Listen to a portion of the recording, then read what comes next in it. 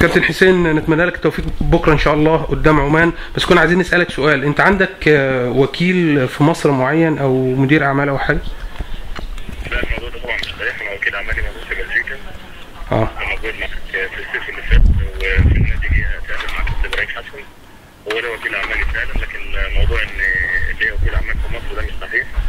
ماليش أي وكيل أعمال لعيبة في مصر. ولا حد يتكلم طبعا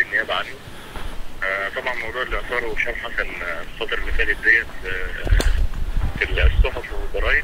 هو فعلا كان ليه علاقة بالتدخل في ان أنا مع الزمالك وكان فعلا موجود الفترة دي اللي أنا وقفت فيها وهو كان السبب من الرئيسي اللي أنا جيت الزمالك لأنه قعد كابتن إبراهيم كان مستقبل يكلمني وجيت عن طريق و- وانتهى الموضوع على كده. بعديها ما خلاص انتهت كل الأمور.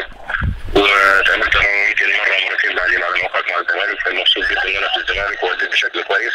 وهو كان موجود لما اتكلمنا في العقد وقالوا إن إحنا نغير العقد بعد فترة من أربع شهور أو خمس شهور من دلوقتي. لو الأمور كلها مش بشكل إيجابي وده اللي حصل. لكن دلوقتي ماليش وكيل اعمال لعيبة في مصر ولا ليا أي حد متحدث رسمي باسمي أنا دايما بحب أتكلم بتكلم أنا عن نفسي. وأنا طبعا كنت مسافر والأمور كلها حصلت على جميع المواقع في النت والكلام اللي قاله. آه، إن أنا مش راجع والكلام ده ده مش صحيح.